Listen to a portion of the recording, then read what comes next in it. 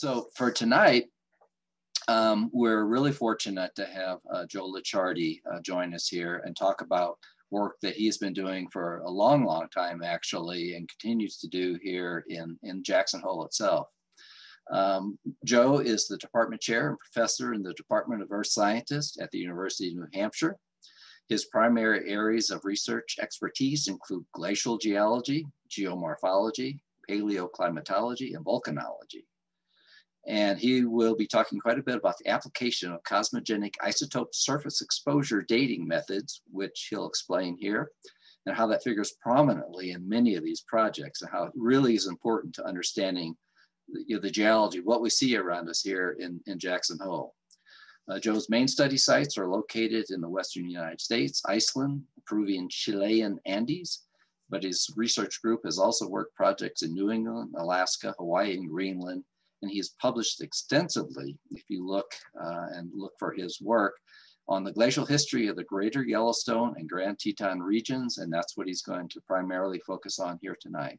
So without further ado, I'd ask you to join me in welcoming Joe Licciardi. Thanks, Joe, for being with us. Thank you, John. Um, I hope that everybody can hear me. And uh, I'd like to start by just saying it's a real honor to be uh, giving a presentation to this group. It's been, I've always uh, had an ambition to be able to be part of this uh, talk series. So it's, it's really, it's really great to be doing this. And um, so I'm just missing the opportunity to give this in person, but um, hopefully we'll, um, we'll have a good uh, Zoom presentation for tonight. Um, so let me um, get started here with sharing my slides. And thumbs up if everybody can see this.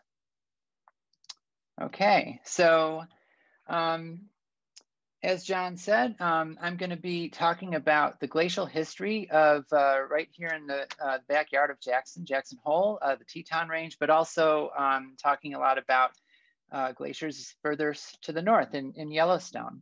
And um, I'll also be talking specifically about the Teton Fault uh, in the second part of my talk. I have a lot of collaborators on projects uh, past, present, and ongoing. You can see some of the names down there at the bottom.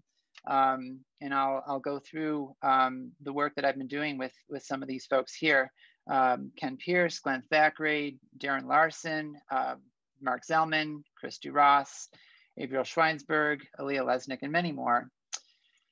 Um, so the opening photo here is probably a familiar scene, uh, is a very familiar scene to all of you who have, have the, the fortune, good fortune of living here. Pretty much everything that you see in this photograph has been sculpted or shaped in some way, shape, or form by glaciers. Um, and in fact, much of the foreground, uh, those flat terraces that you're seeing there, much of those deposits are actually coming from the Yellowstone glacial system, which was actually not known to the earliest geologists who did their mapping in this region. And all of the valleys that you see there in the Tetons uh, looking along the eastern range front have been uh, beautifully sculpted and scooped out by uh, valley glaciers. Before I get into the science of tonight's talk, I want to dedicate this talk to Ken Pierce, um, who sadly passed away on July 9th. I know that um, some of you in the audience knew Ken, um, and he was, I think it's fair to say, he, he was a legend, uh, and the work that he did here on the glacial history is unsurpassed. Uh, and to me, Ken was my longtime colleague, mentor, um, and friend. I just wanted to show a couple of slides here of him doing work in the field. This, this predates um, my time working with Ken. Back in the 60s, this is Ken mapping on horseback in Southern Yellowstone, uh, putting together what uh, just an extraordinary amount of work um, in Yellowstone. More recently, this was a trip that we co-led in 2003, and that's Ken um, with his ever-present map uh, talking about the Jackson Hole glaciation um, from the Curtis Canyon Overlook. Here's another shot of Ken explaining the Teton Fault. This is on the shores of the northern Jackson Lake, uh, another trip there from 2003.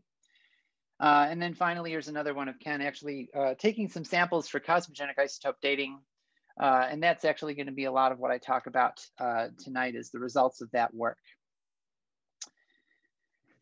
so a lot of what I'm talking about um, builds on, I'm resting on the shoulders of many, many, many folks, um, not just Ken, but many other folks who've been working here in, in Yellowstone. But I, I, have to highlight this particular professional paper that Ken uh, pr produced uh, and published in 1979, um, which I think in the minds of many glacial geologists who've worked in this part of the world uh, stands as the, the definitive example of exhaustively thorough field observations and conceptual models of glaciation in the Western US. And it, it was certainly a great inspiration to me uh, to start working out here. Um, and it's really an extraordinary piece of work. Ken um, won the highest honor given by uh, the Geological Society of America's Quaternary Geology and Geomorphology Division, the Kirk Bryan Award, um, just a couple, few years after he um, published this paper. If we fast forward a couple few decades, um, I started working with Ken in the 90s and I've been working here ever since.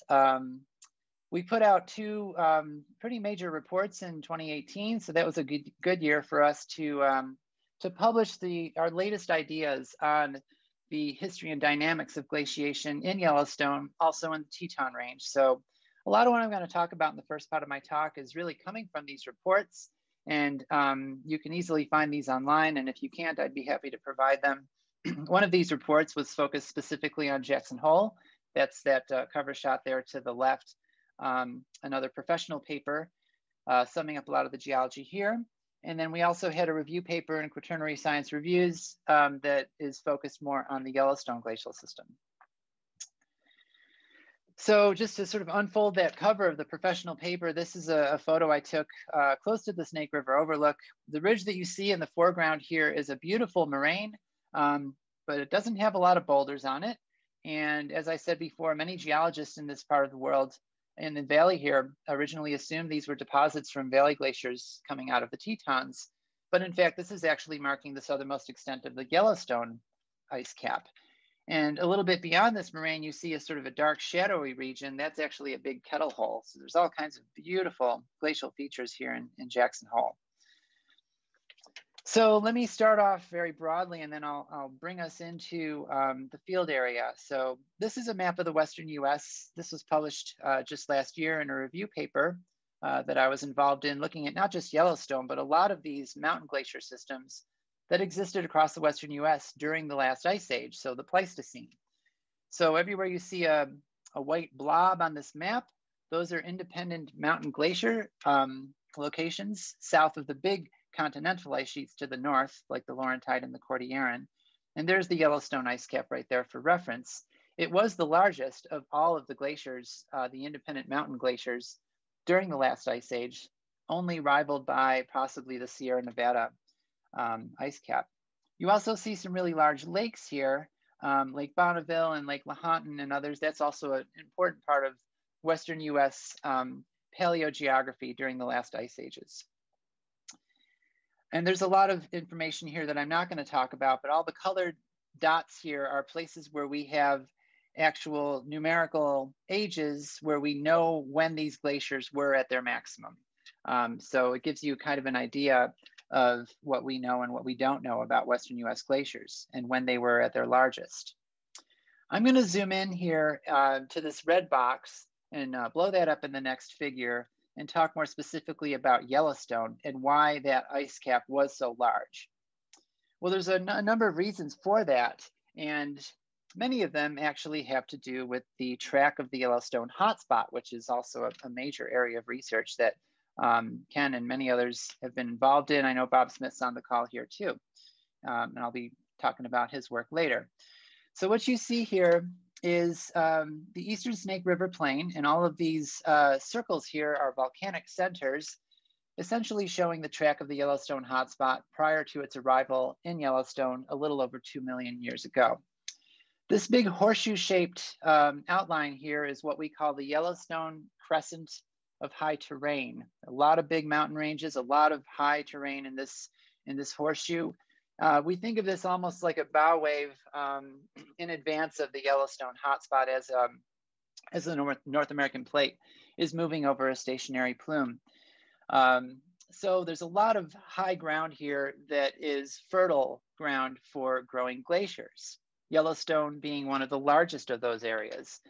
So that geography is in part responsible for why we get such large glaciers in Yellowstone. But also the Snake River Plain itself, because it's a lowland, that almost acts as if it's a conduit or a funnel for a lot of storms. And those storms move along the Snake River Plain. And when they encounter the high terrain of Yellowstone and other mountain ranges here, that produces very deep snowfalls, orographic snowfall. And so if you combine that with a lot of high terrain, really high snowfall totals, you're gonna grow some pretty big glaciers. I'm also gonna point out, I'm talking about the Teton Fault in the latter part of my talk, and these black lines on the map here um, are all major faults. Um, the Teton Fault is, is a big normal fault. And I should also say this, this is based on a paper that Ken published with Lisa Morgan in 1992, and we're really just um, adapting it for our purposes here. So if we think a little bit more about the climate, which is such an important part of the story here, if we look at the figure there on the left, those are annual um, precipitation totals with the darker purple regions being greater amounts of precipitation. So just really reinforcing what I was showing in that previous figure, you can see how snowfall totals are very high on the western edge of, really it's sort of the southwestern edge of the Yellowstone Plateau, where those storms are, are encountering high ground, and that causes a lot of moisture to be extracted from those clouds as they're um, sh uh, shoved up and over that high terrain. If we look along that red line as a transect, the cartoon that we have there on the right-hand side is, is conceptually showing the growth of those clouds and the extraction of precipitation on the plateau.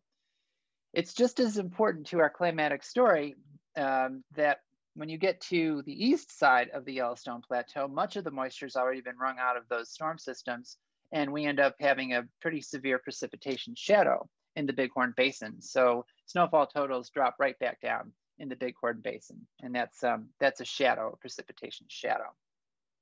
We believe that in the last ice age and previous ice ages, these general patterns of precipitation probably um, probably approximated what you're seeing here, at least in terms of their geographic distribution. So now I'm gonna um, zoom in on Yellowstone here. I'm gonna use this, this base map here. Um, and there's probably some familiar places here, but there's the town of Jackson is right there uh, for reference. And of course, Yellowstone Lake right there in the middle.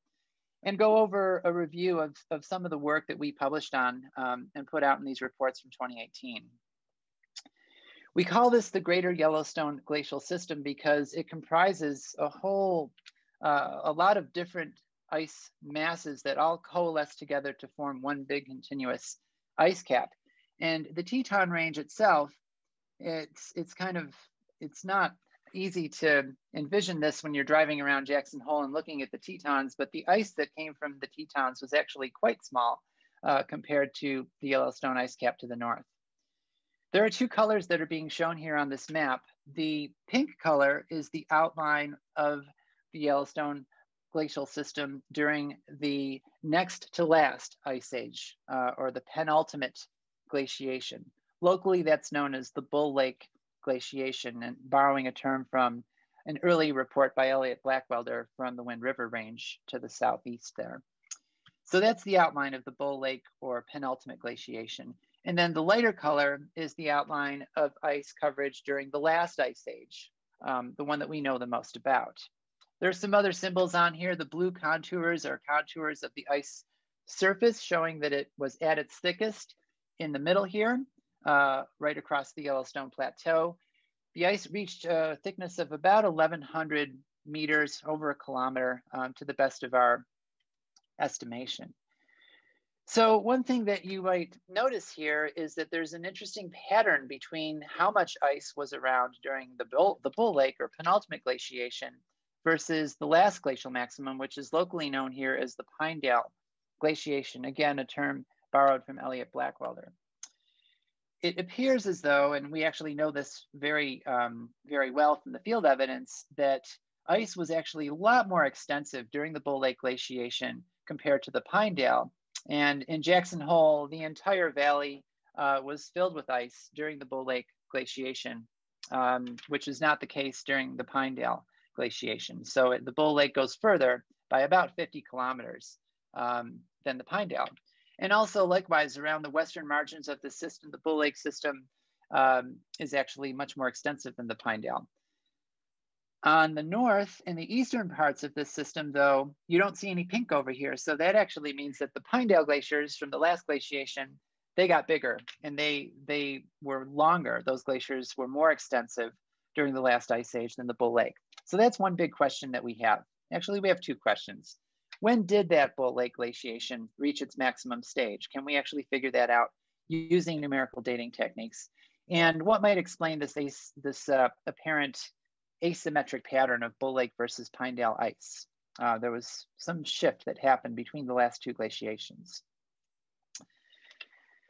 Long before I came along, um, the way that glacial extents were, were dated uh, was to rely on um, mapping combined with relative dating criterion. So the lower photos here, I have two photos. One of these is a moraine crest, sort of a side view of a moraine crest on the other side of the west side of the Tetons. Uh, that's a Bull Lake moraine. And then we have a Pinedale moraine there on the right, which is much sharper crested, has a lot more boulders on it. And those are the types of observations that allow early geologists to figure out which moraines were older than others. So they would look for, you know, how thick were the soils? Um, how many boulders were on those um, crests? Were they sharp crested or broad crested? Uh, the thought there is that moraines, they, sharp, they start up sharp crested and then they start to relax as they erode through time. A little bit later in the 1970s, it was actually a paper led by Ken uh, and colleagues um, that provided the first numbers, the first actual numerical ages of these moraines. And the technique used at the time, very cutting edge, was a combination of potassium argon dating, which is a radiometric dating technique, and obsidian hydration dating, which is a relatively, um, a very novel technique, not, um, not very widely applied. So I want to say a little bit more about the obsidian hydration dating technique because it's just so cool. um, and it was really cutting edge uh, in the 70s. Ken based his work, his early work, uh, with obsidian hydration, uh, hydration around West Yellowstone, and we just recently published more obsidian hydration data in the Ashton, Idaho area, in those two field areas. The idea here is that if you know the age of a, of a lava flow, and in this case, it's, it's an obsidian, a high silica obsidian bearing flow, and that is dated with the potassium argon dating technique, you can then look for fractures in the obsidian on that flow of known age and measure the thickness of that rind. Now, what we're seeing here in this photo, those are cracks in obsidian, and you'll notice that all of the cracks look a little bit lighter in color. That's because the glass is devitrifying, it's actually hydrating, it's taking on molecular water, and the thickness of that hydration rind is growing through time. And if you measure the thickness of the rind and, and you know how old the flow is, you know the rate at which that obsidian hydration uh, is actually expanding through time. There was a very fortuitous circumstance here in West Yellowstone. Glaciers flowed over this obsidian bearing flow, and that actually caused more fracturing of the flow. And all of the obsidian pebbles that ended up in the glacial deposits, they themselves were fractured and they started to grow these hydration rinds. And so what Ken and his colleagues did is they measured very precisely the thickness of those hydration rinds, and then they that equated that to an age because they knew the rate at which those um, hydration rinds were growing. And when that was done in these field areas, there were ages that came out of this. For the Bull Lake moraines, Ken got an age of 140,000 years ago, and that corresponds with marine isotope stage six. So a time when glaciers were at their largest, but the next to last glaciation, the penultimate. For the Pinedale glaciation, Ken and his colleagues got an age of 30,000 years. So I'll ask you to try to remember those numbers as we go through um, this talk. Now, when I came along in the 90s, um, the big fancy new cutting edge dating technique was to use surface exposure dating using cosmogenic isotopes. Now, the way that this works, uh, briefly, is that the Earth is being constantly bombarded with radiation that's coming from galactic sources. Uh, essentially, when stars explode, they send off in all directions um, radiation composed, composed of a lot of atomic and subatomic particles. When those particles strike molecules in the Earth's atmosphere, they start to break down into secondary particles and subatomic particles. So all these little symbols that you see here, those are protons, neutrons, electrons, muons, mesons, all kinds of particles. By the time that radiation gets to the surface of the Earth and starts striking rocks on the surface, it's composed primarily of neutrons. Those neutrons, when they strike atoms that are within the rock materials, they break them into two parts. That's called a spallation reaction. And they produce what we call cosmogenic isotopes. Cosmogenic because they're, they're actually produced from that cosmic radiation striking those target atoms.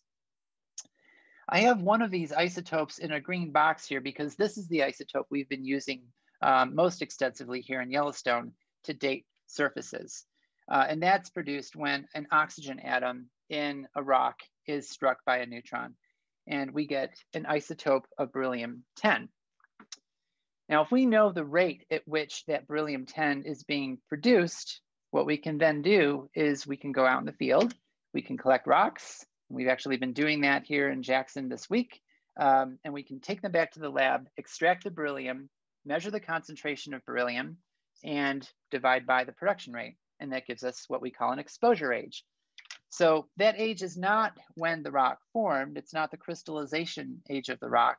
It tells us how long that rock has been on the surface of the earth exposed to that cosmic radiation.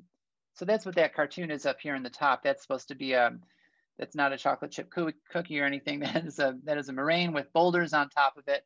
The idea here is that glaciers released those boulders when that moraine was being produced. And that's the first time those boulders start to accumulate cosmogenic isotopes. So the clock starts ticking, so to speak. And then we go out and we collect rock from those boulders and we get an age of when that boulder was, rest, uh, was basically released from the glacier. So a couple of things to say about this. There are certainly, like all dating techniques, there are a lot of caveats and things we need to think about. One is that uh, geology happens. There's a lot of erosion out there and nature is imperfect and it's some and sometimes hard to interpret. Moraines, as I said before, looking at these same two photos, they degrade through time. So there's a lot of erosion. So those boulders may not have just been sitting there undisturbed uh, since they were released from the ice. They could roll around. Or if they were buried initially and the moraine crest starts to erode and the soils start to erode and the surface lowers, those boulders could start emerging. Those are called, that's called boulder exhumation. If we try to date one of those boulders, it's gonna give us an age that's way younger than the moraine. The rock itself could be eroding, so some of that beryllium could be lost for that, for that process. Plus, this is a very snowy place, so if a boulder gets covered with snow, that might block some of the radiation, and we have to account for that when we interpret our exposure ages. There's also the possibility some boulders may have already been on the landscape, and then the glacier comes along, reincorporates it, redeposits it, and that boulder already accumulated isotopes from some prior history. And so it'll come out too old. But generally speaking, we, we pick a lot of boulders on a moraine. So we're not just looking at one age, we get maybe five or 10 from a single moraine. We look for outliers and then we interpret the exposure age as the time when that moraine was last occupied by a glacier margin. So it's not the age of an ice advance, it's actually an age of ice retreat, or at least when that retreat from the moraine began. And that's important to keep in mind as we go through the talk. So I'm going to dive right into some of our results from this exposure dating technique. And as I said, this is a this was a newish technique in the 90s. It's now very widely applied um, in glaciated terrains and for many other applications uh, around the world. I'm going to zoom back in on the Bull Lake glaciation right here in Jackson Hole. And what Ken and I did is we looked for boulders that are right along that outermost limit of Bull Lake ice as that glacier tongue was flowing southward through Jackson Hole, right around Munger Mountain, if you're familiar with, with that part of the world down there. And we found eight really large boulders that we thought were, they looked very stable and very suitable for this dating technique. And we come up with a beryllium 10 exposure age of 150 plus or minus 4,000 years. We published that number in 2008. And that was a really nice validation of the earlier work that Ken and colleagues did with obsidian hydration, but we now know the number to much greater precision. So um, we also applied exposure dating to deposits from the last glaciation, which is the Pinedale glaciation. And those deposits are much more extensive, extensive a lot more targets out there uh, to find. And we looked at outlet glaciers all around the margins of the glacial, uh, the greater Yellowstone glacial system. So I'm just gonna put some numbers up here, and there are a lot of numbers here. Um, we have 200 or more and ages from Yellowstone many exposure ages. This is one of the most densely dated uh, glacial systems in the Western US. Each one of these numbers that you're seeing here, like for example, uh, this one here for Pine Creek um, in the Paradise Valley, that's an average of many ex uh, boulder exposure ages uh, with the uncertainty. And that's an outlet glacier moraine. It's a terminal moraine. Now, if all of these glaciers reach their terminal positions at the same time, all around the greater Yellowstone glacial system, we would expect all these numbers to be right around the same, but they're not. So if you start looking more closely, you'll see that we have older ages generally in the north and the east and younger ages towards the south, including in the Tetons where we have ages in around 14, 15,000 years. So what that tells us is that not all of these, these glaciers did not all reach their maximum sizes and lengths at the same time. So there's an asynchrony here in the glacial maximum for the last glaciation. And not only that, it appears that the center of ice mass was migrating towards the southwest. Because of that, when you look at a map like this, it's actually pretty misleading because the ice coverage never actually looked like we're showing it in this figure. Uh, there's, it would have evolved through time with glaciers reaching their maximum first in the north and the east, and glaciers reaching their maximum much later, thousands of years later, in the southern part of the system. So we published this, uh, these ages, and we kind of punted on, on reconstructing what this may have looked like through time until more recently, where Ken and I basically got together and we decided, you know what, we think we have enough information here from the dating and also from Ken's extensive mapping and, and the mapping of many others to put all of that together and try to reconstruct what this ice complex may have looked like through time, through the Pinedale. Can we do that? Before we could even write the paper, we had to come up with the reconstructions. So before I show you those, I'll show you the ages of these moraines just one more time. It might be a little more clear here.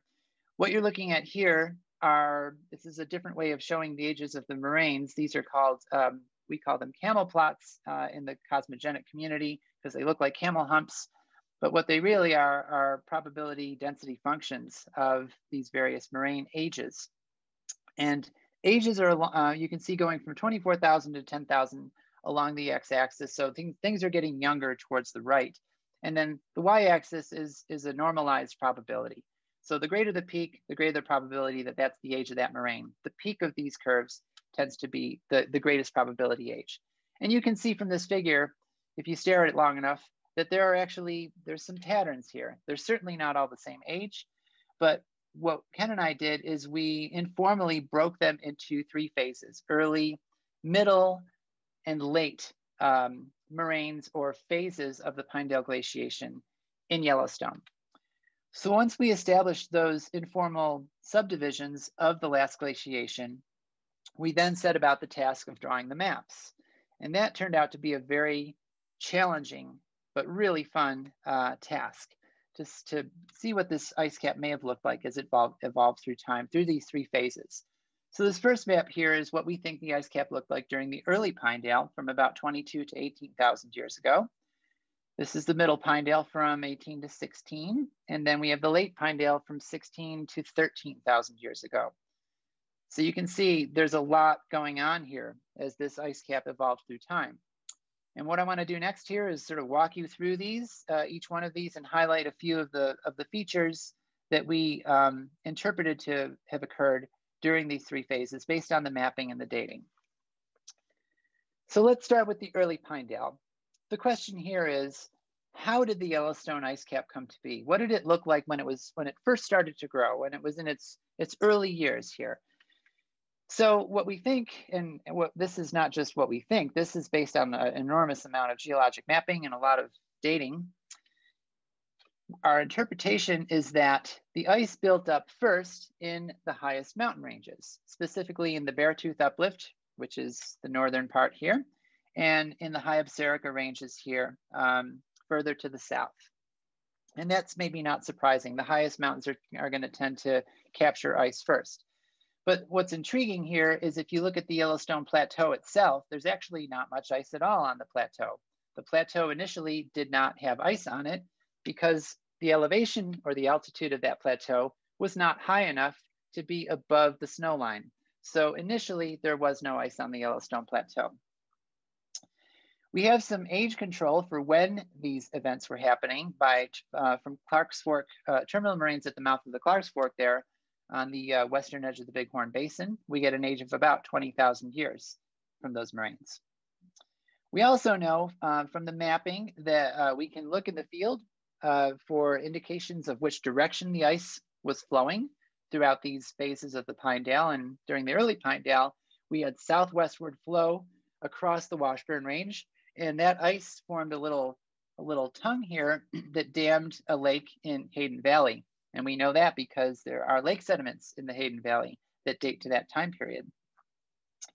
We also know that this was the time period when ice was advancing onto the plateau uh, into the area that became our modern day Yellowstone Lake. And there, those southern arms of Yellowstone Lake there, those fjord-like arms were, were carved during this early Pinedale time.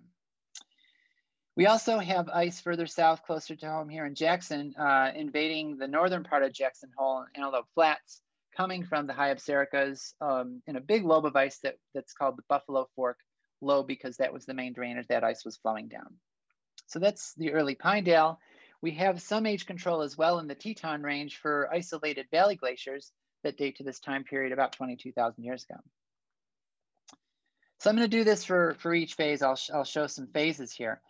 The next big event here is that the Yellowstone Plateau finally gets its ice cap during uh, the middle um, Pinedale. I just want to show you some field photos before I show you that map.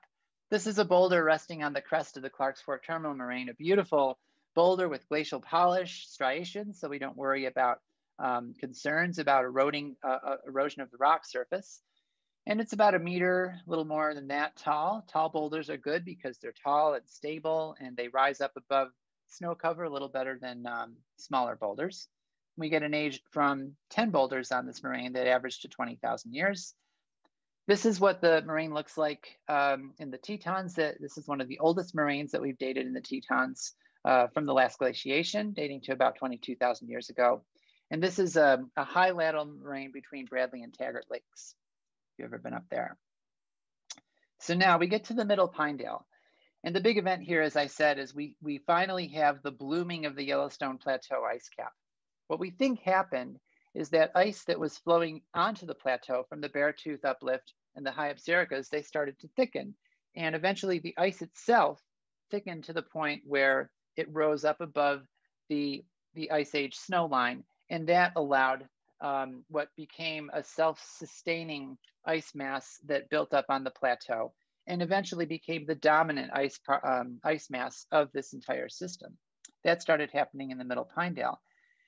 As a result, we have a major shift in the direction of ice flow. Ice was flowing south from the Beartooth uplift, but now we have ice that's flowing in the opposite direction to the north which is a pretty remarkable observation. This is um, a key line of evidence for this major shift in the evolution of the ice cap. And the evidence comes from striations, glacial scratches on Observation Peak, which is part of the Washburn Range.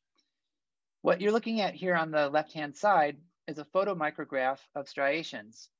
And what, you're, what you should be able to see here is that there are two sets of striations in different directions. There's a younger set, there's an older set. And we know that one set is younger and one set's older because they cut across each other. The younger striations cut across the older striations. And it's not quite a, a 180 reversal, but pretty close to it. And you can see on the right here, that's the photograph of these striations on Observation Peak. Ken published this in his original 1979 professional paper, and it's, it's really remarkable to be um, seeing a, a, major shift, almost a 180 in ice flow direction, based on uh, the striation evidence in the Washburn Range that only could have happened if there was a major ice cap on the Yellowstone Plateau during the Middle Pinedale. Getting back to the map here, um, we know the timing of when some of these events occurred by uh, terminal moraines and recessional moraines in Paradise Valley. Uh, those are dated to 18 to 17,000 years ago.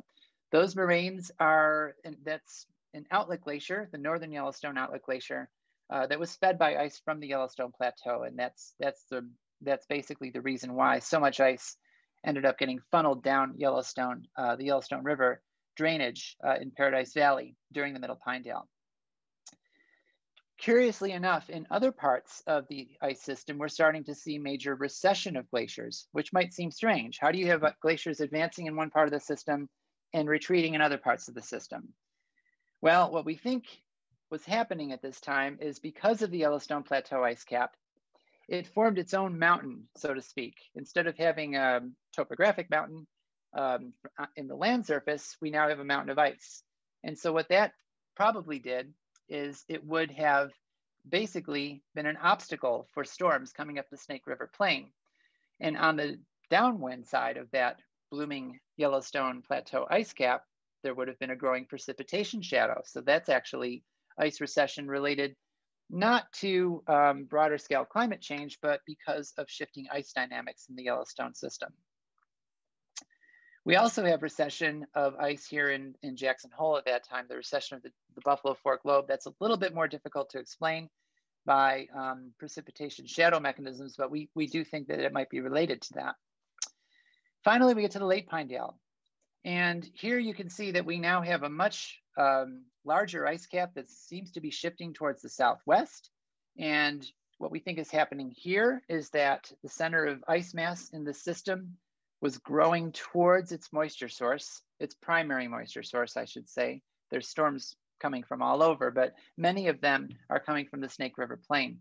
This is the type of behavior that's been documented previously for large continental ice sheets that tend to grow towards major sources of moisture and snowfall. But as far as we know, this is one of the clearest documentations of a mountain glacier system uh, behaving similarly. As a result, we have ice that's advancing uh, to its terminal moraines near Ashton, Idaho. And we also have the Snake River lobe of ice that's flowing south uh, into the northern part of Jackson Hole at this time. And we have ages for that uh, for about 15.5 thousand years ago. The Teton Valley glaciers were also reaching their terminal moraines at this time, many of them, that age that you see there, 15.2 thousand years ago, is actually coming from the moraines that are enclosing Jenny Lake, uh, iconic feature of Grand Teton National Park. And yet, further in the north, we have evidence for ice stagnation. So all the way up near Gardiner, Montana, we have moraines up there that are recording not an ice advance, um, but actually a stable position that records basically the diminishment of the Yellowstone Plateau ice cap. And I want to zoom into this area because there's some really, really cool features here uh, that are worth noting.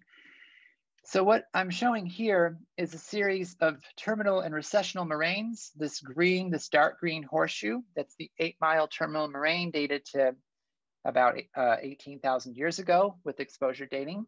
And then we have light green Chico moraines, recessional moraines that are about a thousand years younger. And then we have a big gap and the next time we see a, a moraine is in the Deckard Flats area here near Gardiner, Montana, which is dated to 15.1. By that time, we think that the ice cap on the Yellowstone Plateau was no longer feeding this ice system. So we interpret it as ice stagnation. And then we have a couple of other features here, but I wanna zoom into a really curious feature here near the Deckard Flats margin, which is this feature. You're looking at an aerial photo that was taken, I think, in 1970 by John Shelton, uh, before Paradise Valley was as developed as it is now. Uh, some of this actually lies in, uh, within the boundaries of Yellowstone National Park. And if you look at that scale bar, what you're looking at is an enormous, enormous flood bar. And on top of that flood bar, you can see these lines here and these ridges and swales. Those are interpreted as mega ripples. So this is interpreted as recording enormous glacial meltwater floods that were coming out of Yellowstone and, be, and really recording the last gasp of glaciation in Yellowstone. So if we can figure out the age of this flood bar, we're going to be dating the timing of that last gasp. And in fact, we get uh, an age here with some uncertainty, but around 14,000 years ago. Uh, so that fits in with all of the other moraine ages that, we, that we've been talking about so far. So at this point, there's no ice on the plateau anymore, and um, there's probably widespread disintegration of the Yellowstone complex. Here's a field photo on those ripples, and that's Ken again explaining these huge, um, these huge boulders to um, at least initially incredulous uh, crowd of geologists who are trying to wrap their brains around how such a huge um, flood bar could have actually been deposited in the Paradise Valley. So it's kind of a fun story uh, with these flood deposits. So just to wrap that up, this is wrapping up the first part of my talk. Uh, we have three phases of the Pinedale glaciation. There's the early and the middle and the late. So you can see that ice mass growing towards the southwest, towards its primary source of, source of moisture, uh, storm tracks along the Snake River Plain. Okay, so at this point, um, I'm gonna keep going, uh, but I have the next part of my talk is gonna be focused more specifically on the Teton Range. And, uh, and this is where I'll start talking a little bit more about the Teton Fault um, and other features that we're working on down here. As I said before, uh, when you're in Grand Teton and you're looking up at the mountains, it, you would it's easy to to think that all of the glacial features that you're seeing are coming from the Tetons and glaciers that used to be in those valleys. But look how small that ice is compared to Yellowstone. It's pretty small. Not to diminish the, the importance though, we get some of our best preserved glacial features here in the Tetons and we've been um, learning a lot. We're certainly not the first ones, nor is Ken. We have to go all the way back to um, the 1920s and 30s um, where this is a report here by Fritjof Fryxell. This is a, a rather famous uh, report that he published in 1930, which is essentially his PhD thesis. And he was really the first one to map uh, glaciers and glacial deposits in the Teton Range.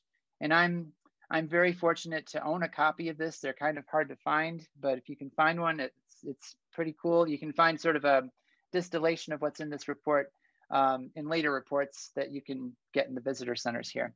The map that you see there on the right is just exquisite. I love this map. Um, all the different colors, the, the green that's showing the glaciers coming out of the easternmost part of the Teton Range and all of the yellows and oranges, those are outwash deposits uh, in Jackson Valley. So, so Fryxell produced wonderfully detailed um, descriptions of many of the glacial features in Jackson Hole but he did assume that most of these features were coming from the Tetons, which was later um, learned to be uh, not the case. But he certainly laid a pretty, a pretty extensive foundation for other geologists to build from. If we fast forward to modern times here, um, more recent developments, of course, a lot happened between 1930 and, um, and now. I just want to show um, a map of the Teton Fault and uh, Grand Teton National Park pointing out the fact that we now have full LIDAR coverage of the entire national park. And that was made available um, in 2015. And what you're looking at here, it doesn't really do the LIDAR justice, but I'll, I'll show you more detailed close-ups later. But uh, it's, it's hard to overstate how, um, how much of a game changer it is to have LIDAR covering the entire national park. If you're a geomorphologist and you're, you're interested in landforms, this is, um, this is a gold mine and it's really um, instigated a lot of more recent research um, on all aspects of the, the, geologic history of the Tetons. I'm sure we'll be seeing the same sort of thing happening when um, Yellowstone is fully covered by LIDAR as well. The map that you're actually seeing here was published in 2019, and this was focused on the Teton Fault specifically. This was one of many uh, uh, geologic features that was highlighted by the LIDAR, and this was published by my colleagues Mark Zellman, Chris Ross, and Glenn Thackray in 2019. And you can see it's not one continuous line, or maybe you can't, it's kind of hard to see, but we, we have a lot of details um, in that main trace of the Teton Fault, thanks to um, the work of, of Zellman, DuRoss, Thackray, um, and their colleagues. So now I'm gonna show you some close-ups, and this uh, some of this is really just for fun to show how cool the LiDAR is, but this is an oblique view of the Tetons, and this is Jenny Lake here in the foreground, Grand Teton there in the middle. And if I melt that into the LiDAR and we have the LiDAR draped over the, over the topography here, you can start to see just some wonderful details um, in the land surface. And this is LiDAR that's been processed to remove all the tree cover. So you can basically see the bare earth here. And just as one example of how cool this is, you can now see right through the trees and you see many different ridges enclosing Jenny Lake. Those are the Jenny Lake moraines. So it's not just one ridge, it's actually a whole bunch of ridges. And we knew that already from our geologic mapping, but to see it all stripped bare and shown in this level of detail is, is just really cool. The other big feature here to point out is, well, maybe you can already see it. There's this, look, looks like a big uh, gap or uh, some sort of fracture that's running through the field of view here. And if I highlight that with red, that is in fact the trace, the main trace of the Teton Fault. Uh, and I'm generalizing here because as you saw in that previous map, it's, there's a lot more details to just one line across the map here. A key field observation here is that this fault is cutting across many of the previously mapped glacial features in the Teton Range. And that's the focus of the next um, part of my talk here. But before I do that, I wanna just go over the Teton Fault and a little bit of background. Um, if you've been tuning into um, other talks here given by other folks in this talk series, you probably have already heard some of this. And this is really just some review here on the Teton Fault. So this is a major range bounding fault. It's a normal fault. It's dipping towards the east. It's about 72 kilometers long. And there's a whole series of publications here that I'm citing here. This is not complete um, by any means, but there's been a lot of previous work on the Teton Fault that we're building from. Uh, that said, though, there is also some, um, there's, I, am not sure if I want to call them disagreements, but there's various interpretations of the history of the Teton Fault. So there's a lot more to learn about the history of the fault. For example, you can see published estimates of the total amount of offset along this fault ranging from six to nine kilometers since the fault initiated between five and 13 million years ago. I tend to think it's probably on the younger end of that range. Um, and if you just do some simple math here, that implies a long-term slip rate of about 0.5 to 1.2 meters per thousand years um, along that fault. Slip rates are of keen interest because slip rates are happening because of earthquakes and earthquakes constitute a major geologic hazard. So the more that we know about this fault, the better positioned we are going to be to understand the hazards that are involved in um, living and recreating so close to a major fault. The offset pattern of the Teton Fault is, is pretty interesting. It sort of mimics the topography. The greatest amount of offset, at least visible on the landscape uh, today, ranges from near 30, 30 meters uh, near the central part of the fault trace. And in fact, um, just earlier today, we we hiked up that fault face. Uh, the that was that's a difficult thing to do, um, but it's it's worth the effort to to get a good gander at that at that fault scarp. When you go to the north and to the south, you that total amount of offset peters out, and then you no longer see the fault. There are some um, there's there's growing um, growing lines of evidence that are constraining uh, slip rates, um, and there's there's a whole bunch of papers here. This is again not complete, but those slip rates have, um, they range in the published literature from about 0.3 to 1.5 meters per thousand years. So if you actually compare that uh, to the long-term um, slip rates, they, they are in this, a similar range. The last point here is that there's been some very interesting modeling work that's been done on the Teton Fault, which predicts that the glaciers, the, the glaciation in this region is actually interacting with the fault such that the slip rates along the fault are predicted by the, by the modeling work here led by Andrea Hampel and her colleagues to be slower during times of glacial loading and faster when that load is released uh, during deglaciation. And I should point out here that in their model, uh, we're really talking more about the, the thick ice that was to the north in Yellowstone, loading and unloading the landscape and affecting slip rates along the Teton Fault. The valley glaciers in the Tetons may have played a role as well. They probably did, but they they are a, a less they're a smaller player in the story because it wasn't as much ice. So a few years back, um, we got funded by the National Science Foundation to investigate the Teton Fault and take a deeper dive into its geologic history. And I'm working on this project with, uh, with colleagues, some of whom have given talks in this in this Geologists of Jackson Hole talk series. My role in this project is to directly date landforms that have been cut by the fault uh, using exposure dating, the technique we've already been using to date glacial features. Uh, Darren Larsen, whom I think many of you know, um, who uh, his family lives here locally, and he's he's given talks in this um, in this talk series. He's been looking at the lakes, and I think at this point, Darren has probably cored every single lake in the Tetons, and I've been fortunate to be along on a lot of those trips. Um, and it's uh, what those lake sediments. I'm not going to go over Darren's work, but um, he's looking at disturbance layers in the lake sediments, each of which is interpreted to record a major seismic event that is related to um, fault motion. And you'll see more of that, I would assume, coming out um, in the literature. And there's already some nice papers that Darren's led uh, that you can read about that story. The other part of this um, project is to look at trenches that are dug across the fault trace. And that's being led by Glenn Thackray, Mark Zellman, Chris DuRoss, and their colleagues. Some of these trenches are hand dug. Um, Glenn calls them artisanal because we can't be bringing big backhoes into the national park to dig across the fault, although that is possible when you're outside the fault boundary. And um, that's, that's work that's been led by the USGS, Chris DuRoss and his colleagues uh, further south. And the idea there is if you can dig a trench a few meters down and expose the fault and see what it looks like below the surface, you could actually start to identify slip events in those trenches. And many consider paleoseismic trenches to be the gold standard of looking at um, fault activity and trying to reconstruct events. But what we're doing is we're putting all of these lines of evidence together into a more comprehensive and integrated history of the, of the Teton Fault. So I'm going to zoom in here and I'm going to really only talk about my role in this work, which again is uh, to be dating landforms cut by the Teton Fault. So I'll zoom into that blue box here and start with Google Earth uh, base map. So you might see some features you recognize here. There's Jenny Lake right there. There's Phelps Lake and all this greenery here. Those are, those are moraines.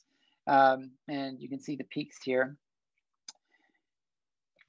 So this is a layer that's showing the Pleistocene ice cover. And this is ice cover that's um, really um, with reference to the last glacial maximum. So the Pinedale glaciation is what you're seeing here. You might note that some of the glacier, uh, some of the valley glaciers coming out of the Tetons were coalesced with each other, but the big ice to the north here and off of this map frame, that's Yellowstone ice, and that didn't coalesce with uh, the glaciers coming out of the Tetons until you get to the area around Leigh Lake here, where we think there, we know from the field evidence that valley glaciers um, occupying Leigh Lake um, were, co were coalesced with the Yellowstone ice. So just to move on here, that red line that you see there, that's the trace of the Teton Fault. And I, I basically reproduced that directly from um, the Zellman and others map uh, that was published in 2019. All of the other lines that you see here in blue and purple, those are moraines. So these blue ones, those are terminal moraines. And the purple ones, if you can see those, those are lateral moraines. You can see that the fault is cutting across at least some of these moraines. So what we've been doing with exposure dating is we've been collecting a lot of boulders in the Tetons. Um, I, I feel like we've probably collected most of the, the, best ones, at least in my view, from these um, moraine crests on the east side. So everywhere you see a yellow dot is a moraine boulder that we've collected uh, rock from for exposure dating. The green dots are also important. Those are from glacially scoured bedrock up the valleys. And those are important to our story as well, because I explained how we how we date moraine boulders and how we interpret them as the timing of when the ice starts to retreat from that moraine crest. If you sample bedrock and you develop an exposure age from bedrock, what you're the event that you're dating is the time that that rock surface was uncovered and revealed by ice retreat. So if we sample ice scoured bedrock up of the up these valleys, we can then track when the glaciers were retreating up the valley. And we want to know that because we want to know how fast these glaciers retreated from their terminal positions. So we're putting all of this together uh, into uh, a chronology of glaciation in the Teton Range. And some of this has been published and some of this has not. Um, we The earliest work that we did was to focus on the Jenny Lake moraines because they are so exquisite. And we collected boulders along the terminal moraines that are enclosing the lake. And we get ages, there's there's ridges, but there's really two groups of ridges. It's, there's moraines that we call the inner Jenny Lake moraines and the outer Jenny Lake moraines. The outermost or distal Jenny Lake moraines, they date to 15.2 thousand years ago. So that's consistent with what I've been saying before. That's an age of regional deglaciation, but it appears to be when that ice started to retreat from the outer Jenny Lake moraines. And then there's some inner Jenny Lake moraines that are recessional and they date to 14.4. And then we have some bedrock uh, dated in Cascade Canyon. And then we have boulders perched on a cirque lip up at Lake Solitude dating to about 13,000. So we put all of that together and we can, we can track the timing of ice retreat. We get the age of the maximum, uh, the terminal moraines. So when the ice started to retreat from the terminal moraines. And so that's a lot of, a lot of useful information. But that's all we did initially. Later on, I started thinking, you know, we should probably see what the ages of the moraines for the other Teton Valley glaciers might turn out to be. Maybe Jenny Lake is an anomaly. Um, we want to maybe see if there's any difference in the ages of terminal moraines north and south along the Tetons. So we did just that. And what you're looking at here, these are averages of terminal moraines, but what we did later was a little bit different. Instead of dating just terminal moraines, we also climbed up the lateral moraines and we dated boulders along those lateral moraines. And those moraines are shown in purple, and the ages that we got from those moraines are shown in purple. Now, initially, when I started getting ages in the 20s from those boulders, I thought, well, that those are outliers. That's too old. That doesn't make sense. They're way too, they're way older than all the terminal moraine ages that we dated so far. But then a trend started to appear. And as you can see here in Glacier Gulch, we have 22,000 years, about 22 at Bradley Lake. And then again, for lateral moraine in Phelps Lake, about 19. So major, um, the, the newsworthy outcome of this is that the high lateral moraines are actually several thousands of years older than the terminal moraines, which is was not what we were anticipating when we started doing this project. And I'll tell you why that's important. It's important because if we want to start using these landforms to constrain slip rates along the Teton Fault, we need to know the age of the, of the landform that's being cut by the fault. So I'm going to zoom in here to Glacier Gulch, Bradley Lake, Taggart Lake, and I'm going to melt this into the LiDAR. And what you can see here very clearly from the LiDAR is that there are at least five places here where we have high lateral moraines that are being cut by the Teton Fault. So the fault is not cutting the terminal and recessional moraines that we've dated to 15,000 and had previously assumed all of these moraines were probably about that age. They're cutting the high lateral moraines.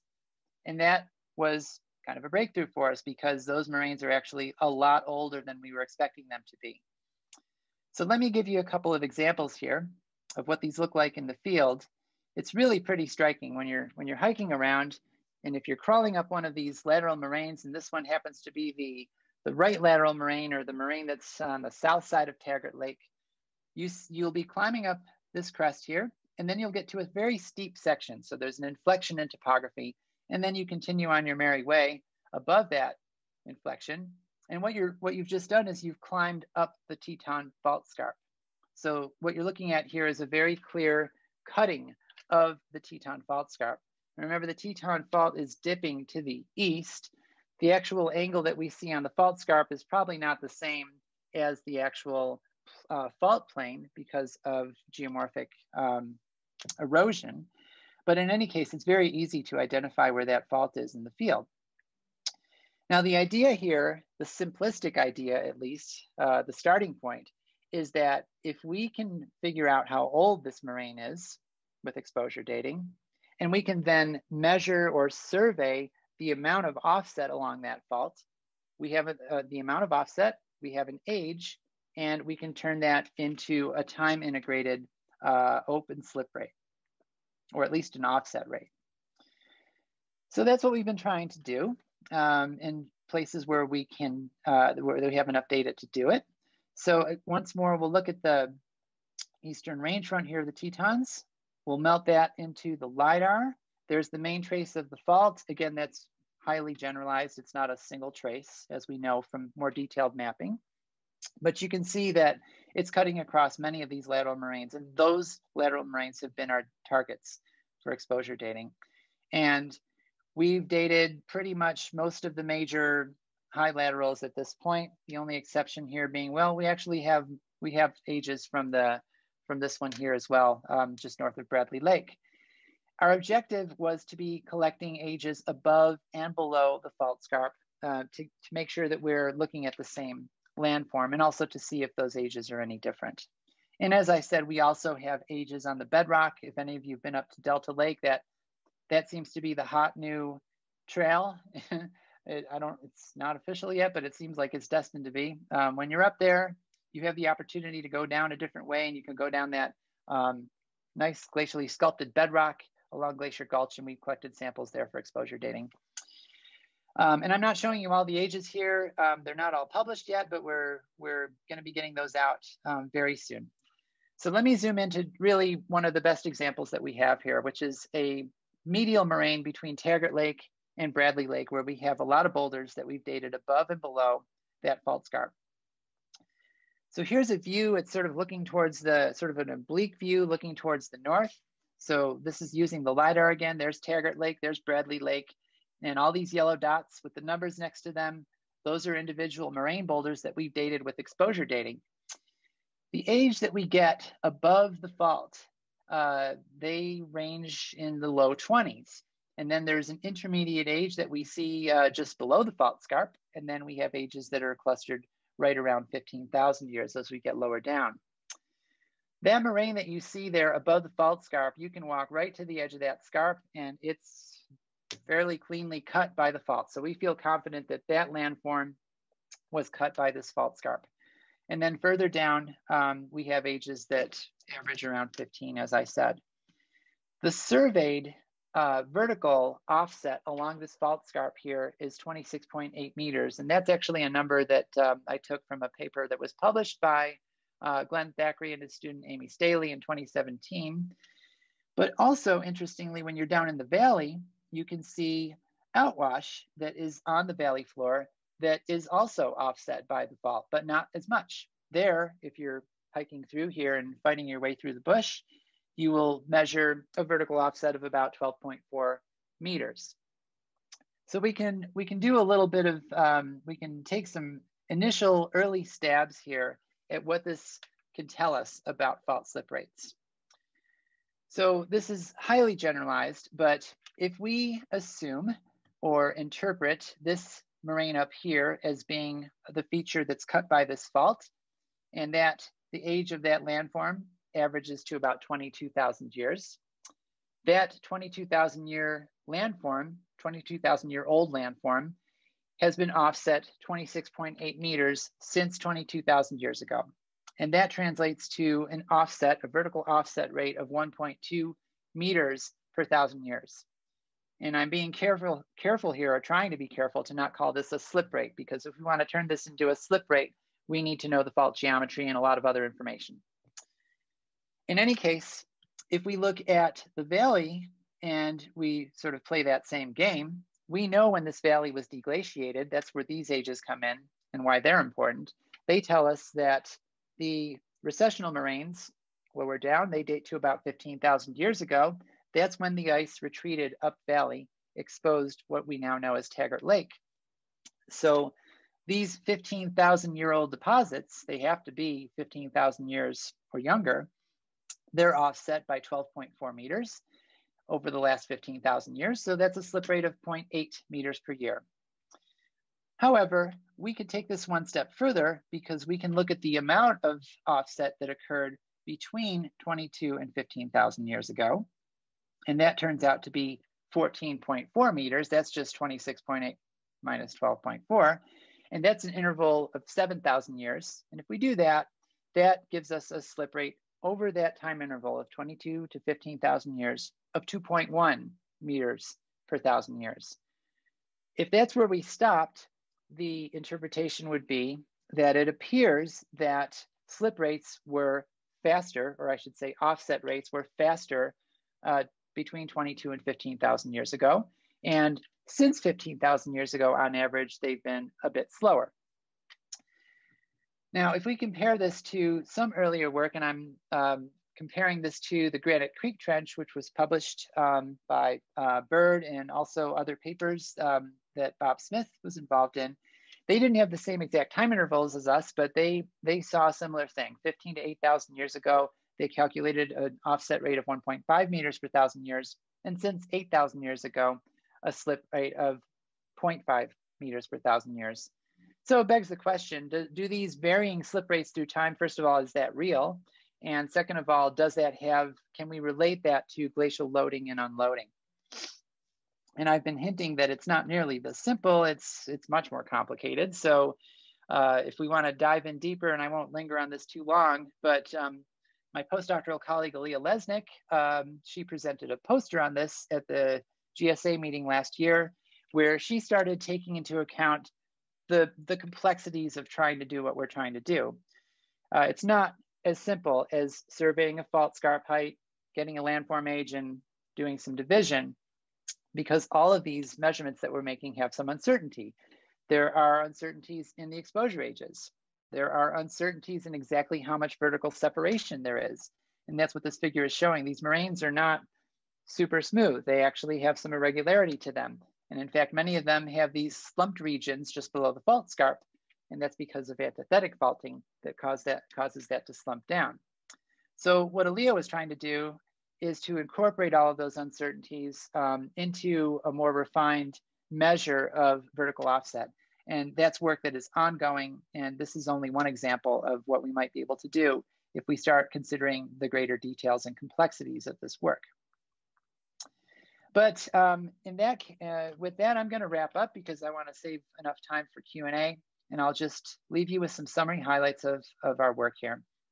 Getting back to the earlier part of the talk, we have uh, combined mapping and exposure dating evidence for three phases of the Pinedale glaciation, the last glaciation, in Greater Yellowstone. So we have our three phases from 22 to 18, 18 to 16, 16 to 13.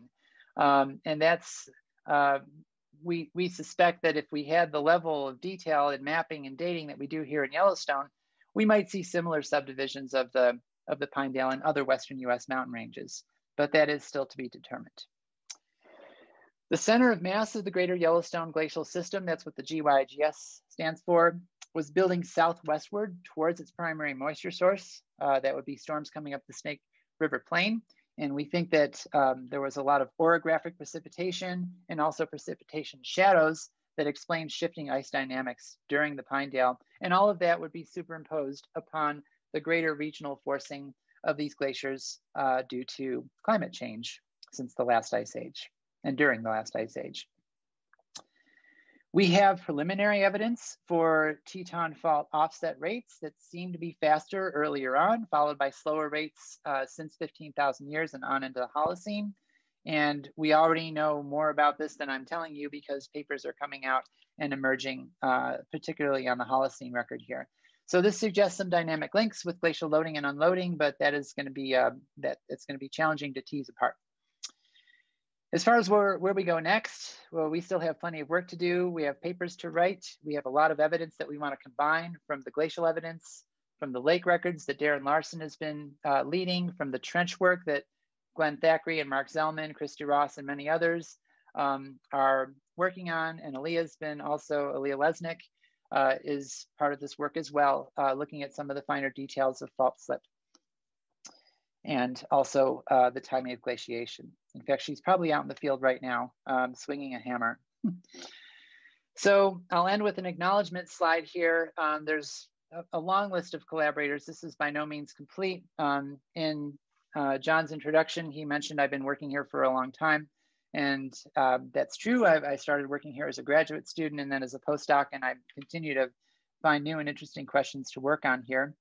We also have uh, generous support from funding sources. The National Science Foundation has been very generous in supporting this work, as has been the National Park Service and the University of Wyoming. And then my final slide is, uh, I'll just close with a slide again of, of Ken Pierce here on the Clarks Fork Moraine. This, uh, this was us doing field work together in 2003. And it's really, it's really impossible to overstate how, how important Ken was to me as a colleague and a mentor and a friend, and I, I will miss him. And um, with that, I will, I'll stop and, and be happy to take questions. Thank you. Um, Joe, thank you so much. This has been an absolutely amazing and stunning talk. The photos, the graphic work that you did, I, I'm getting lots of comments on how incredible and the amount of work that you put into this and, and the level of detail. So uh, thank you from our, our entire audience. We have a lot of questions, uh, as you might imagine.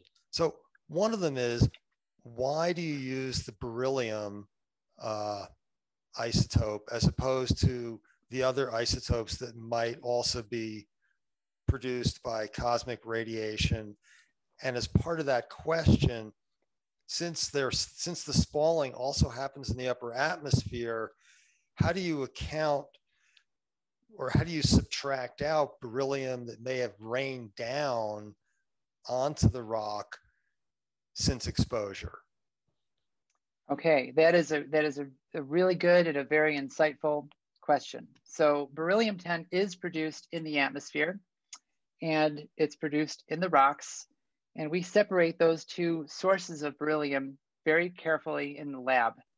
The beryllium 10 that's produced in the atmosphere is what we, we tend to call that meteoric beryllium 10. We don't want that in our sample. We need to remove that and separate that from what we consider to be the cosmogenic beryllium 10 that was produced in the rocks themselves. And the chronometer that we're using relies on the beryllium 10 produced in the rocks. So I won't bore you with the details of our lab work. I love doing lab work, but basically when we get a rock from the field and in the Tetons, most of that rock is granitic. That means that it has quartz in it. And that means a lot of SiO2. So there's a lot of oxygen targets in that quartz. The development of this technique, it goes way back, but um, quartz was the focus of early exposure dating studies using beryllium 10 because we have very simple chemistry to deal with, and we can purify the quartz. Quartz is very resistant to most chemical processes. And we take that rock through many different, um, many different and pretty aggressive quartz uh, uh, chemical etchings. And that etching is going to remove the outer portions of those grains, and it's also going to get rid of all of the beryllium 10 that may be in the rock due to meteoric sources. So, and we measure, we can track, we can track that in the lab. We know when we've gotten rid of the beryllium 10 from meteoric sources um, through a series of etchings. So we end up with very pure quartz. Um, and beryllium 10 is a sort of a favorite isotope among many folks who use exposure dating because the production rate is known pretty well, and that's important. The exposure age that you get is only as accurate as your knowledge of the rate at which it's being produced. The concentration part, that part of the problem has been, um, is in very good shape. We have accelerator mass spectrometers that can give us concentrations to the sub percent, uh, which is really nice. That the analytical precision is, is it far exceeds all of the other, um, it's, it's way better than all the other uncertainties we have from geology. I should mention though, and I won't, I won't go on too long. I could talk about cosmogenic isotopes all day. We have also used another isotope in Yellowstone, helium-3, Helium-3 is also produced in rock surfaces by spallation, but instead of using quartz, we separate out the olivine uh, minerals from basalt. And we have the fortune in Paradise Valley, for example, to have glacial boulders that are basalt. They've been quarried from some of the earliest volcanics um, in Paradise Valley um, shortly after the arrival of the Yellowstone hotspot. So the glacial deposits in uh, the Paradise Valley have both basalt and granitic rocks in them. And that's really nice because we can compare two different isotopes to each other and we essentially get ages that agree with each other. So it gives us more confidence. Uh, do you have dates for earlier glacial events? The 2.5 million year Pleistocene period had numerous events here, obviously newer ones, obscure older ones, but can you talk about any of the older ones? Not really. so the, the reason is that each successive glaciation tends to wipe out a lot of evidence, not all, but a lot of evidence that was left on the ground by previous glaciations. Um, you make a good point, or the, whoever asked that question makes a very good point. During the Pleistocene, we have repeated glaciations. It would be very misleading for me to leave you with the impression from this talk that there's only been two glaciations in Yellowstone. That's not true. There's been many, many, many, many glaciations. We know very, very little about the earlier glaciations. There are other Western US mountain ranges uh, in Colorado, for example, where we have some moraines and some evidence from older stages. Here, we have limited but enough evidence of the Bull Lake glaciation, which was the next to last glaciation. And you, as I showed, there's deposits from the Bull Lake that that went further than the Pinedale, so they didn't get overrun, which is really fortunate because it means that we're actually able to study them in detail here. That's not true in many other Western US mountain ranges. But there's parts of Yellowstone where we don't even see anything from the Bull Lake because the Pinedale glaciation has completely overridden those deposits. That's true in the north, the northern part of Yellowstone, the northern outlet glaciers coming off the Beartooths and the Absarokas up there. There's no Bull Lake. There's very little Bull Lake so it's a it's a well-known problem in glacial geology. The record that we see is we get these little snapshots of glaciations, and it's like you know the analogy of like looking through a telescope the wrong way. The further back you look, the less you know about what you're looking at. Uh, it's certainly true for glaciations. We're not getting a complete record from the moraines. Uh, have there were there likely to have been those large floods that you described to the north of Yellowstone through the Jackson Hole Valley as well. And can you talk about them? Uh, yeah, absolutely. So there were glacial floods that were happening in various uh, part regions around the margin, the periphery of, of the Yellowstone glacial system. I don't know of any beautifully preserved mega ripples and flood bars like that. You know that John Shelton photo is a is a classic. Um, we don't have features like that that are preserved in Jackson Hole, but there were certainly uh, glacial floods that were coursing down the Snake River and other drainages as the ice was retreating very rapidly to the north from the Yellowstone system. The deposits in this part of Jackson and the, the details can be found in the, in the professional paper that, that Ken led in 2018. Um, there's a lot of outwash in, in this. The Jackson Hole and Antelope Flats is just choked with with um, deposits, and that tends to obscure some of the other features. The flood deposits are younger though, so you should still see them, and you do. Um, but I would say that they are um, relative to the flood deposits in the north. They're they're not as intensely studied, but they're certainly there. And if you look elsewhere in other um, major outlet glaciers coming off of Yellowstone, you see the same thing. You'll see you'll see flood deposits but those beautiful mega ripples, um, that's that's really and, and all throughout northern Yellowstone, the deposits there are just they're just gorgeously preserved. Yeah, no, they're they're striking. Uh, most of the curves you had, the cosmogenic curves had double humps on them. Can you talk about the significance of that? Absolutely. So when you have a camel plot, which is really a probability expression of the age of a moraine, if, if it's a nice single hump, that gives you confidence that you have a tight, coherent set of ages and that that moraine ridge, the retreat age that you get from the exposure ages is probably recording a single retreat event from that crest. If you get two humps, and you usually, it, it's not, it, well, I don't want to say that we don't like it when we get two humps. It gives us more information. Um, but if you get two humps, it means that you have an age distribution that is not Gaussian, it's maybe bimodal. And each one of those peaks in probability might correspond to a phase of moraine construction, or at least a phase of moraine uh, abandonment. And it's actually pretty common to get uh, a couple of humps, uh, sometimes more than two on a moraine. So you get bimodal, polymodal age distributions. And the, the common interpretation is that you're seeing more than one event. Or it could also mean that a moraine is formed, the glacier retreats from the glacier, so the older set of the, the older hump records that initial retreat. And then the glacier re-advances, reoccupies that moraine crest, drops a few more boulders. And so you get another hump, which is the younger hump, and then it retreats. So in that case, you would interpret it as basically a reoccupation of that moraine before final retreat. Uh, one of our listeners wants to know where is that uh, 30 meter offset that you hiked up today? Uh, and were you caught in the thunderstorm? Almost. um, well, so the, the greatest scarp heights are found right along the central part of the range. And it's not a coincidence that that's where the highest mountains are. That's where the greatest amount of total offset has occurred along the Teton Fault. And it there, thereby stands to region, reason that the, the more recent events that have created the scarps that we still see preserved, uh, those scarps are going to be higher in that central part of the range. The highest scarps are found between, um, generally between Taggart Lake and, and Jenny Lake, kind of in, in that region.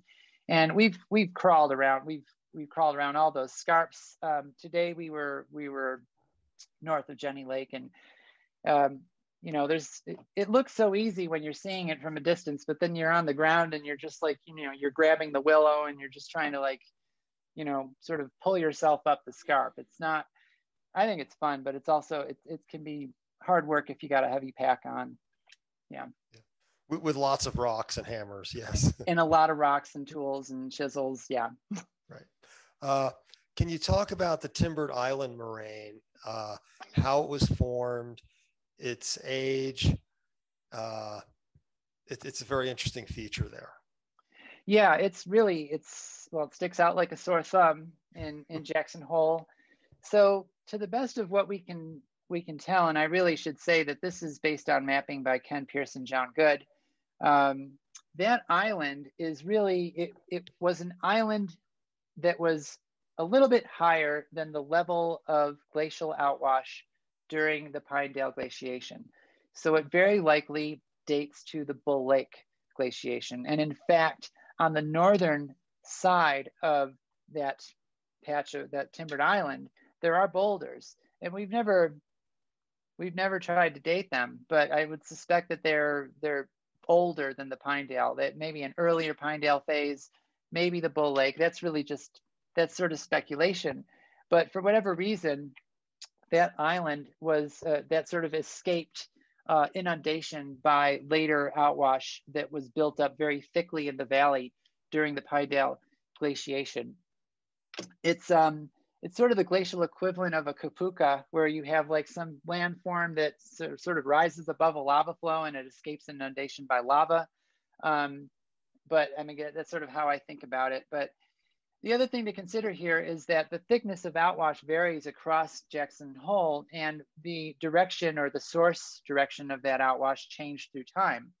In the early Pinedale, most of this was coming, most of the outwash was coming from the high Absarokas to the east, down the Buffalo Fork.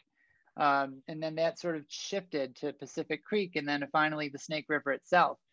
And the outwash packages are they're wedge shaped so they're going to thin as you get further and further away from their source so maybe because of the way that that source region was shifting through time that thinner feathered edge of the outwash just basically never got thick enough to bury timbered island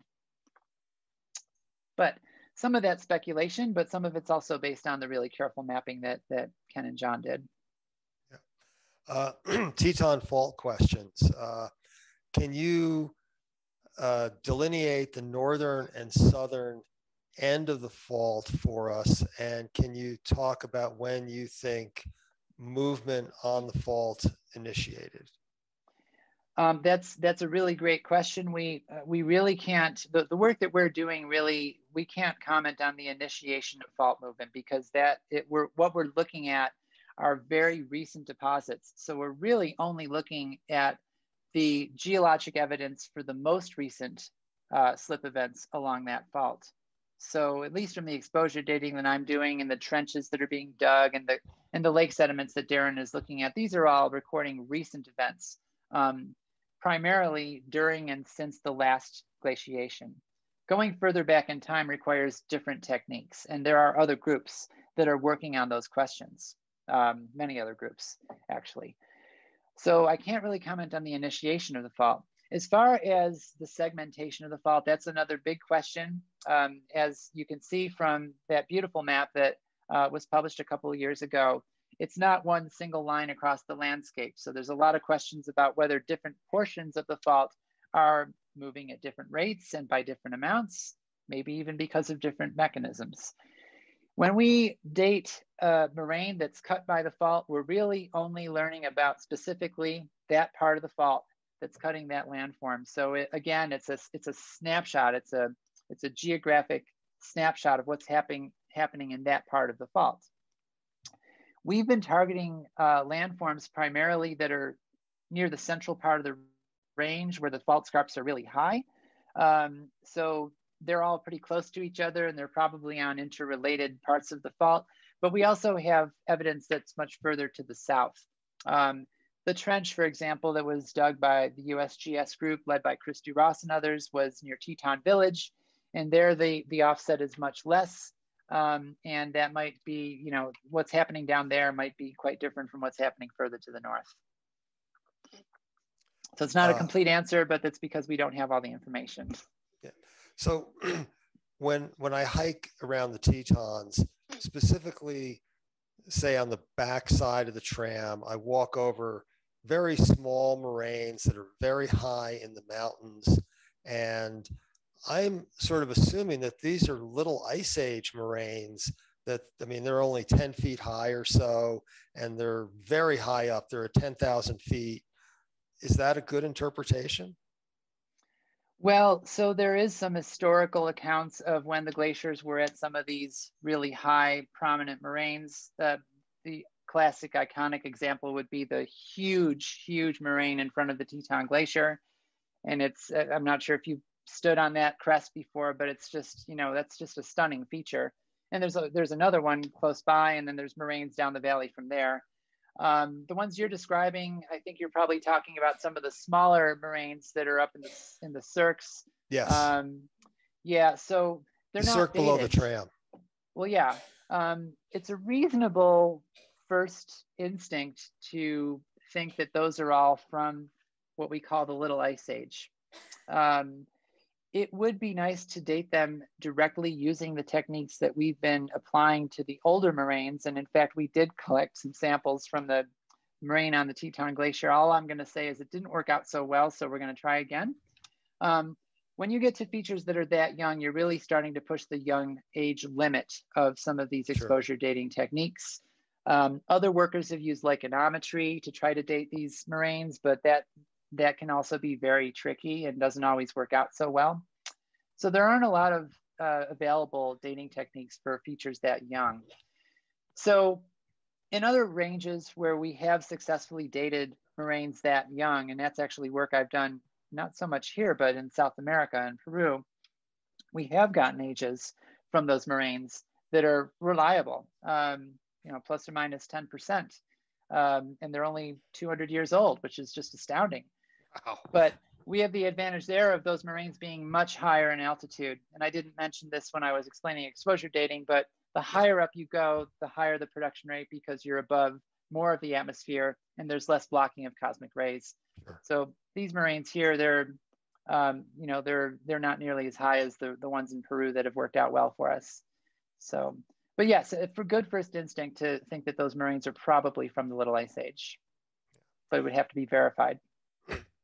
Uh, so I, am sure there will be more questions that we'll be emailing you, but I would like to read uh, two comments from our president, uh, John Willott. Clearly one of the best talks that we have ever had with outstanding graphs and figures, very clear presentation, incredibly informative. In addition, thank you for your comments on the work that Ken Pierce and John Good did for all of us in the Valley. They were great geologists and we were all blessed to know them. Uh, yeah. Thank you.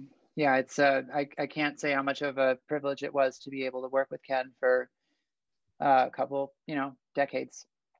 Yeah, Yeah, and we were very fortunate to have him lead a field trip here for us to talk about the glaciology and uh, and we hope we can get you to do that sometime in the future as well. Uh, so I want to thank you, Joe, uh, for all of us for truly an incredibly amazing, detailed, but very clearly explained talk on uh, on a lot of technical stuff, and uh, and and explains everything we see every day here in the valley. So truly, truly outstanding. I, I want to remind our audience that on August 3rd, we will have a live talk at St. John's in Hanson Hall. And it's about